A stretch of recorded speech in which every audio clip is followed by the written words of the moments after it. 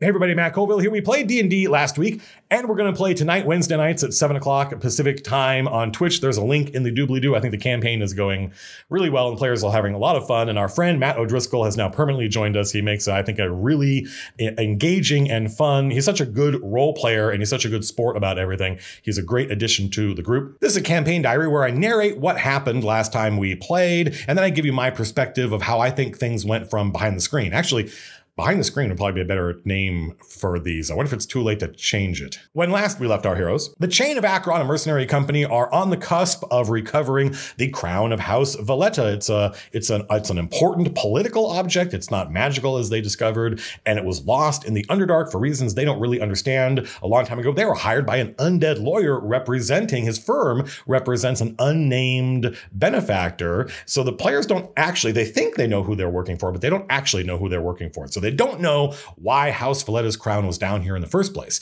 but they know that this temple that they're in the middle of belongs to a mad old one. The old ones in my setting are aboleths. There was a lot of fun in an earlier campaign the players played for months, hearing, meeting people in the Underdark talking about how the old ones are behind all of the bad stuff that's happening. And they're like, what are the old ones? And they had a lot of uh, different theories and, and, and, ideas, which was a lot, which was neat, a lot of fun for me. And it turns out they're aboleths. So aboleths in my setting, because of this, and also because of my history with the game when they used to be nastier than they are now, these aboleths are much nastier than the ones you find in the monster manual. Leech, Matt Driscoll's character, who is a drow, he, they brought him along on purpose because he's an expert on the Underdark. Leech describes them as being like demigods. So this is a mad demigod's lair, and he set a bunch of puzzles tools for them in an attempt to catch them and drive them mad, which is a, you know, it's a conceit. Obviously, it's not really going to drive them mad, but it might have gotten them killed. They now find themselves outside a solarium. They're inside a replica, a mental replica of a Riohan manor house, presumably House Valletta's manor house.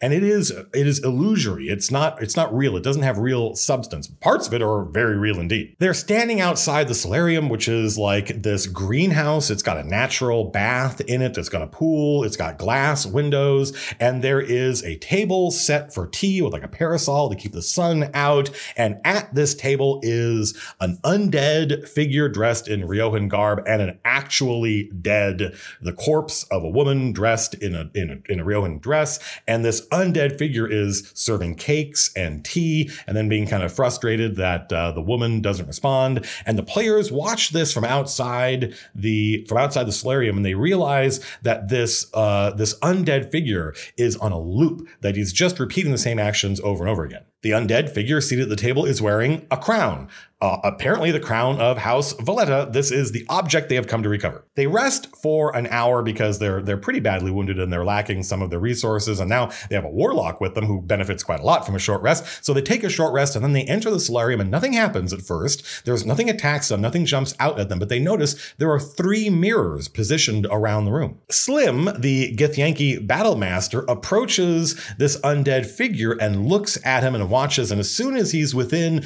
the undead figure's eyesight, the undead figure starts talking to him. He says, Tell me, how is it in the city outside? Do the guilds still fight over money? This is an undead Riohan noble who is talking to Slim as though Slim is one of his servants. He doesn't see Slim as being a Githyanki, just as Slim doesn't see him as being a living, breathing human duke. Slim, who is, as Phil plays him, quite explicitly an alien, a Githyanki who doesn't have the same reactions to all of this stuff that a human might have, Slim gives a very glib response to this undead figure, eh, who responds by saying, A servant should not talk to their master thus. Slim says, I am no servant, and says something very aggressive, causing this figure to suddenly actually turn and look at Slim for the first time and say that he's going to flay his flesh from his bones. He says, You work for the guilds. By Enzio 7 70 scars, I'll have you hung for your insolence. And it's initiative. Meanwhile, the other players have been inspecting the mirrors because they have correctly guessed that the mirrors hold the key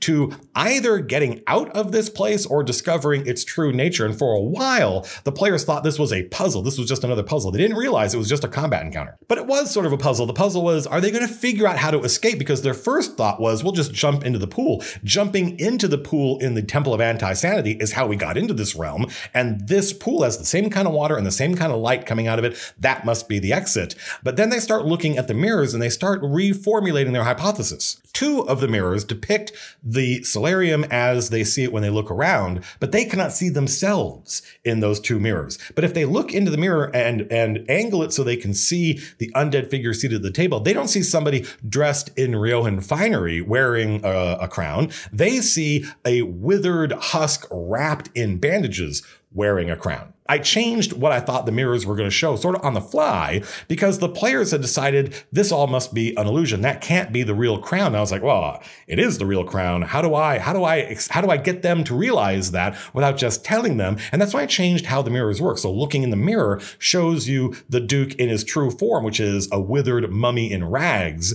not a person in noble Riojan finery. And that worked, by the way. The players went from thinking the crown wasn't real to realizing that the crown was real, but it was weird that they couldn't see themselves in the mirror. Well, what about that third mirror? So they look into the third mirror, and the third mirror shows nothing, just this kind of smoky gray realm. No floor, no walls, no ceiling, but they can see themselves quite clearly. I wasn't even really sure how exactly the players were going to come to the conclusion that that mirror was the exit, except it's similar, I think, to how I described the mirror in one of the puzzles that they had to use to get to the next puzzle. So the, they they managed to figure it all out, which made me very happy because that was a little dicey moment. The players were coming to all sorts of wrong conclusions, and I had to guide them to the to the right exit. That is the crown you need. Just grab it and go without them going down the rabbit hole or without me having to just explicitly tell them. So I think that worked. They felt smart. They felt like they had figured something out. It's initiative. This is the boss fight of the entire Underdark adventure,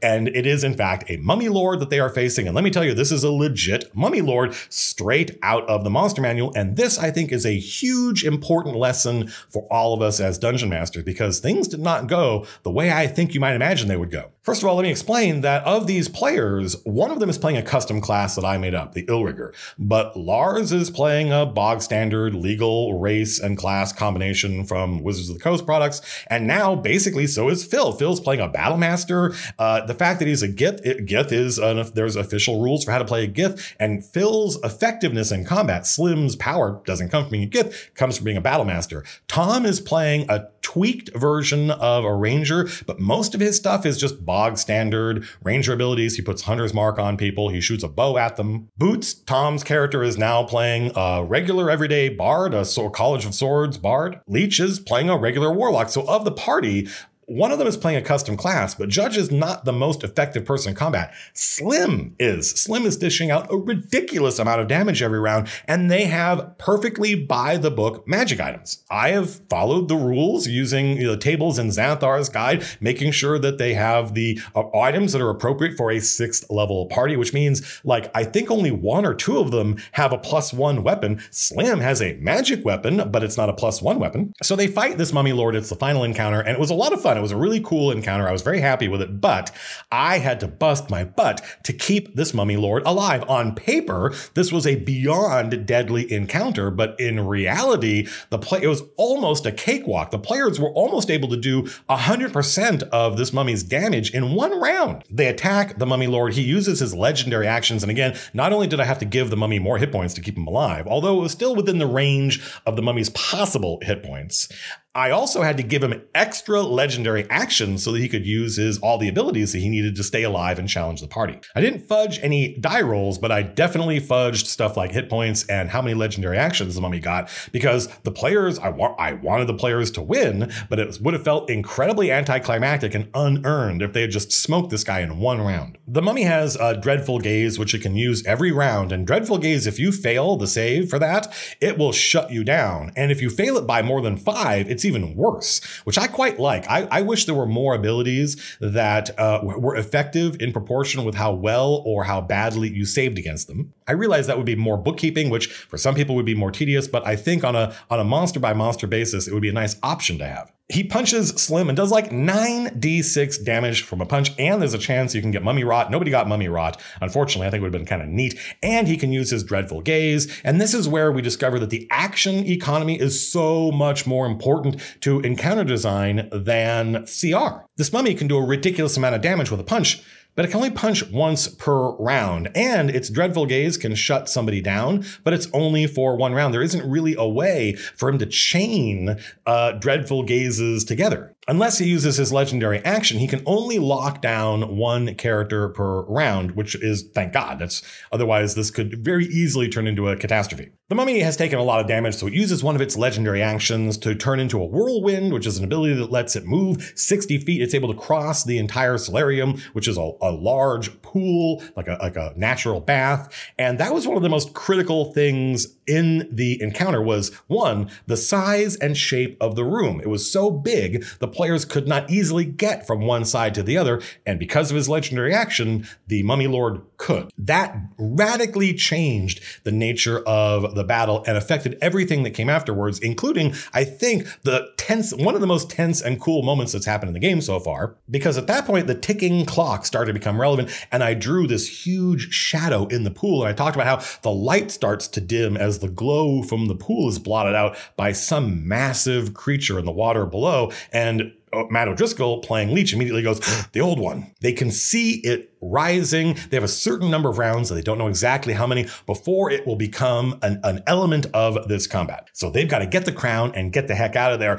Two of the players spend the next round just trying to get across the room, just trying to cover the space. They can't fly. They can't jump over the pool. It's too wide, so they have to run around. And meanwhile, Leech has the idea of using his imp, Odie, to grab the crown and just get out of there which I knew was always a possibility. Slim fails to save against the mummy's dreadful gaze, which means he's going to spend a round literally doing nothing. He's stunned, which is huge for this combat because Slim's output is so ridiculous. Boots tries to grab the crown, but the mummy grabs Boots instead and throws Boots into the pool with the old one. And the old one tries to, I show Boots a picture of the aboleth. Tom Schmuck, I don't think he'd ever seen an aboleth before. And he was like, oh, what is that? And I had him make a saving throw. He made his saving throw and I described this oppressive pressing down sense as he's in the water, not like he's drowning, but like he's going to lose his mind, but he manages to shake it off and he gets out of the water and he is like, we have got to get out of here. He is immediately ready to run to the mirror and quit this place. Meanwhile, Odie grabs the crown off the Duke as Slim finally recovers from the dreadful gaze, spends an entire round running across the pool and kills the Mummy Lord. The players now have to get to the mirror to get out before the old one surfaces. That's not a problem for most of them, but Slim and Judge have to use their entire movement just to get to the mirror, and they are now standing literally next to it, five feet away from the mirror, which was an incredibly dramatic point because at that moment, the old one starts to crest the water and mind controls Judge. Judge turns to Slim, his eyes change, and he says in the old one's voice, You will make a welcome addition to my menagerie. And Phil is like, now what? Do I have to kill Judge before we can get out of here? And then Boots barrels into Judge, knocking Judge into the mirror. It was such a perfect, dramatic moment. Boots escapes, Slim escapes, King escapes, and they all start climbing out of the pool of water. The, it's like a large bathtub, the altar in the Temple of Anti-Sanity. The way they got in here in the first place, they climb out, they see, oh, we remember this place. Look, here's all the dead Darrow that we left here. And they run through the entire Isle of Madness. They get to the Somnium Tenebris, they fire it up, punch it slim, and they translate themselves back to the mundane world and they smell the salt air and they hear the gulls and they realize that they are near capital, the place they left. That was incredible. That was so awesome. It was so much fun for me. I definitely had a moment where I was like, what happens if the old one mind controls somebody who's nowhere near the mirror? Now what's going to happen? Because unlike the mummy lord, who can really only dreadful gaze one person at a time, the old one could mind control the entire party. There's nothing they'll be able to do about it. And it's one thing to be like, well, I can push you into a mirror. It's another thing. Am I going to, am I going to knock this character out and then pick them up? Does that mean we have to have an entire combat where I have to try to knock out Judge? And then once Judge goes unconscious, throw him on my shoulder and leave? This is, this could very easily turn into one of those, you know, catastrophe waves where there's a tipping point and everything goes south. But miraculously, the two nastiest fighters in the group both ended up, both ended their turns standing right next to the mirror. And at that that point, I knew it was going to work, and the players would figure out I wouldn't have to explain anything. I wouldn't have to give them any hints. They would know if one of them failed their save and got mind control, they could push that character into the mirror. That is exactly what happened. There is there are very few things as satisfying as when the DM sets something up but doesn't explain it. And the players just instantly figure it out because they've seen movies and other cultural references and they just go with it and everything works. It was incredibly satisfying. Job, job well done, folks. This is the first real job the Chain of Acheron have completed, so they go back to the Pharaoh's dream. I describe the process of how they don't have to go through customs anymore. They have their papers, they can just show them and get into the city. King decides, listen, this is our first job completed. He lets the concierge at the Pharaoh's dream know that they want to speak tomorrow morning with uh, Reginald Orfeo, the lawyer from the firm that hired them. Meanwhile, King is going to take the senior officers and they're going to go to the Footstool, which is the tavern that all the other rank and file members of the Chain of Acheron are staying And they're going to celebrate. He's going to use the treasury and he's going to buy everybody drinks and food. And it's a huge party. That was awesome. I love the fact that Lars took the initiative with that and said, we're going to celebrate. You know, this is what the chain does after they complete a job. And even though these guys didn't go on that job, everybody benefits from our victory. And there was some discussion about the fact that they wanted to talk about the job, but there are other people staying at this tavern, right? It's a, it's a popular kind of middle class tavern. And they had to wait for their revelries to kind of drive out all of the people that were just there for a meal and are just, they're going to go up to the rooms and sleep or leave. The one thing the players noticed though was that Angel wasn't anywhere to be found, and that caused some consternation. And both Judge and King went to Two Shoes and said, Two Shoes, where's Angel? And Two Shoes is like, I told him that you guys wanted to have a meeting here at this time, but he hasn't shown up. And so the players start to think that maybe there's something wrong with Angel, but Two Shoes is like, I saw him a couple days ago. He said he was going to go gather some information. And they're like, okay, well, let's just wait and see what happens to Angel. The party at the end is a blast. Boots writes a song about the Underdark job. Slim demands that there is a stanza in there about his actions, and Boots is happy to accommodate him. So everybody's happy. And King uses this opportunity to make uh, Slim an actual official member of the group. He swears the oath. There is no formal oath of the chain. There have been several different oaths in the Chronicle written down, and it basically boils down to do you swear to follow the hierarchy of the chain? Do you swear that you leave your previous life behind, which is probably the more important part? And do you agree to complete the contract no matter the cost. Slim says that all sounds good to him, so now Slim is an official senior officer of the Chain of Acheron. He also gets uh, King awards him, and he had kind of used this as uh, a carrot. He showed Phil, who's now playing a, a Githyanki, who's psionic, that they had recovered a psionic crystal, which is a magic item from strongholds and followers. It's uh, a piece of a gemstone dragon that confers psionic abilities on whoever uses it. And Slim Phil looks at some of these abilities like, holy crap, I want this thing. And Lars is like, well, then you got to take the oath if you want that, because this is uh, this is the treasure property of the chain of Acheron. And Slim's like, well, I'm with you guys then. And that was a really cool moment. Boots decides that he's going to stay here with the rank and file while they go back to the Pharaoh's dream. He's going to spend the night here in the footstool. And that was a campaign changing decision. And I'll tell you why in a second. The characters all go back to the Pharaoh's dream, but I stay with Boots. And I say, so yeah, you're to spend the night here. No problem. People start going back to the room. Some people are passed out in the common room. You get a room to yourself. How do you, how do you sleep? Do you sleep like clothed? Do you sleep? Uh, you don't sleep in your armor. And Tom thought about it goes, I, I probably sleep in the buff. I'm a Riohan and it's the Middle Ages. Yeah, why not? And I said, okay, fine. I'm not sure if I had Tom make a check or not, but Tom is awoken near dawn the next day by three shadowy figures approaching his bed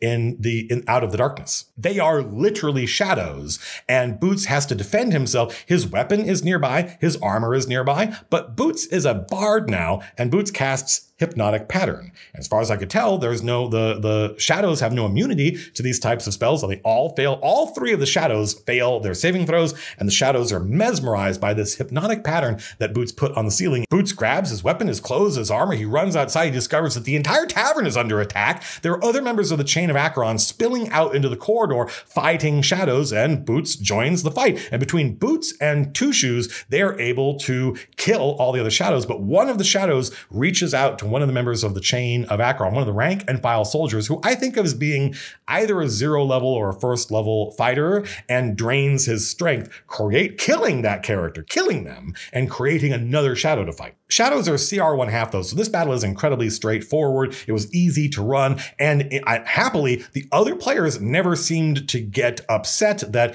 they were they didn't get any action. They were riveted by what was happening. Boots and Two Shoes and the other surviving members of the chain of Acheron go back down to the common room. The stone giant that owns this inn is a stone giant with a dwarf buddy who does all the cleaning up around here. The stone giant who runs the inn is furious because he doesn't know, he's angry mostly because he has no idea what happened and a bunch of his guests just died, including many of the people who were just staying here, had nothing to do with the chain of Acheron. They just wanted a nice, safe place to get a meal and sleep. They're dead. They were turned into shadows. And the only evidence that anything else has happened is a broken window and an iron bar that's sitting on the ground. Boots picks up the iron bar and he's like, is it magical? Apparently not. Humans in my setting can sense magic natively. They can't tell tell where it's coming from, but they know when there's magic within about 30 feet. The stone giant has his dwarf go get the cops and he he says none of you are leaving this place because he doesn't know what's happened, is looking for somebody to blame really, and kind of wants to blame the chain of Acheron. And Boots is like, we didn't have anything to do with this. Let me go get, let me go report in to my commanding officers. And the stone giant is like, no.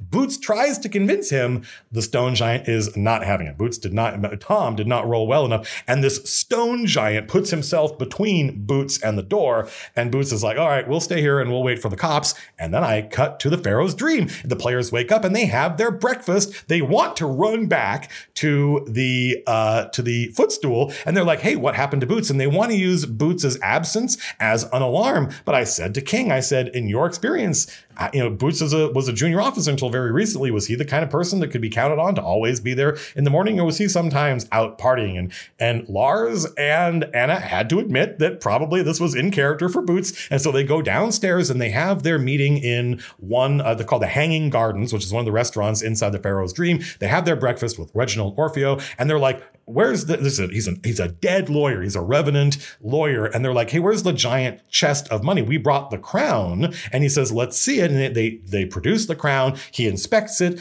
Uh, they're kind of reticent to give it to him. They're, they want to do like a like a trade like a handoff. But he is like look i'm a lawyer. That we're not this isn't a hostage situation. We're not barbarians. Let me see the crown. Shows him the crown. Goes okay. And then he pulls uh, a, what looks like a sheaf of notes a bound sheaf of notes from his jacket pocket. And anna's like, is he going to write us a check? Yes, he is. He writes them a check for 20,000 gold, tells them to take it to the bank and get it exchanged for notes, which is absolutely going to happen. And while they're having this discussion, he gives them a coupon. Base, it's his card, is what it is. Gives them his card, which is a blank bone white piece of paper, and he writes an address on it. He says, if you are at this address in two days, you will have access to our curator. A curator is like a place, a person you can go to and buy magic items from. This is a classic conundrum in D&D is if there are people who can make magic items, could you go to a magic shop? Could you just go to a store and buy magic items? For some people, that seems like a reasonable conclusion based on the available spells and rules of D&D but then for other people that would really cheapen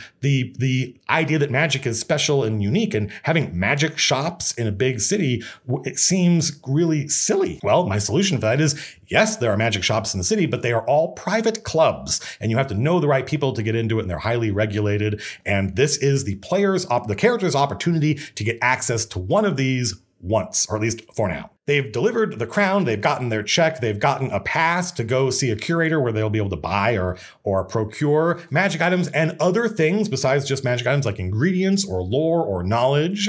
And then they're talking about uh, something that happened. They're talking about the other job that they didn't take. They're talking about the job at the Citadel. And the undead lawyer is like, the Citadel. And they're like, yeah. And he's like, I don't think that job's available anymore. And they're like, why not? And he's like, haven't you read the broadsheets this morning? And the player's like, no. And so the Reginald Orfeo has a broadsheet brought over and they read this headline about how the Citadel, one of the jobs that they could have taken, that Citadel job was done by another mercenary group who were interviewed in the broadsheet talking about what happened at this Citadel and why they did this and whether they were working for anybody. And then Judge, reading the broadsheet, looks down and there's another article in this broadsheet that was just printed like an hour ago. And it talks about the incident at the footstool and how there are 36 dead. And Judge stands up and says, we've got to get back to the footstool. And that's where we left things. That was the game. It was a blast. I had a lot of fun. I had written up like a six page document called Angel's Report that I think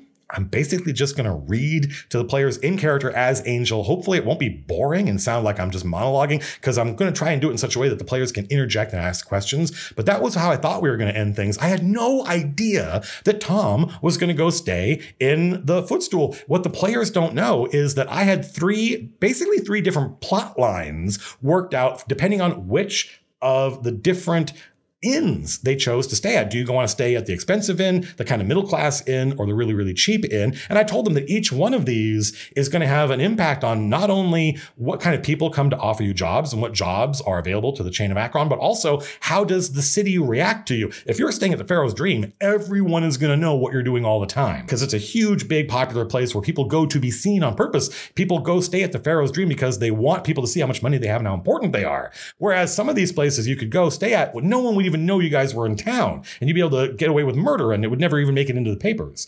Well, they chose, they didn't, they, they, they kind of rushed to judgment and decided to stay at the most expensive place in town. So that's fine. But one of the subplots was this, I'm not going to give, I'm not going to spoil it, but this attack on this tavern was originally designed for them staying in the tavern. So when Boots decided, I'm going to stay here overnight, I was like, oh, I can bust out this whole other plot line. And it was the first time in the game I was so happy happy. You have no idea. I was so happy. Uh, it was the first time in the game I really felt like we were starting to get that open world feel. Remember, the sandbox is I just put challenges in front of you. It's up to you how to solve them. I don't know what the answers is. It's up to you to use any tools you want. That's the sandbox style of play. It's not all about here is this lock. There is one key. Go find it. Congratulations. Now you can move on to the next level. No, I'm just going to put a challenge in front of you and it's up to you to figure out what resources are we going to use. So the game has been very sandboxy up until now. I had no idea that they were going to, I should have known, but I had no idea they were going to take over the Somnium Tenebris. That is really cool. And that has unlocked other stuff that they've been able to do, like the Underdark job they would not have been able to do otherwise. But this was the first moment where they had that open world. I can go anywhere I want and do whatever. I'm not going to go back to the Pharaoh's Dream. I'm going to stay here and I'm going to hang out with the rank and file guys. And I was like, holy crap, the players are starting to use the city. If they had a map of the city, I think they would do this a lot more. So it's on me. That's on me. And this is the problem with designing a fantasy city from scratch is I'm not a cartographer. I'm not an artist. I only have this like abstract high, very high level, low detail map. So yeah, I was just ridiculously happy that the players were starting to not just wait for me to tell them what to do or wait for me to tell them what the next thing was. They were taking the initiative. King Lars, as the commander, has done this a couple times now, where he has just taken the initiative. He has not waited for me to say what happens next. He's like, we are doing this. I am going to go to the footstool and we are going to throw a party. Awesome. That made me super happy with the players starting to be active instead of reactive. And then Boots saying, I'm staying here again is him being active active instead of reactive, and it unlocked a whole other plot thread that I am super excited to see where it goes. I don't know where it's going to go, but it's going to be it's going to be game changing. I think. The funny thing was that broadsheet talking about the attack that was going to happen no matter what. I, they were just going to be reading about this other plot thread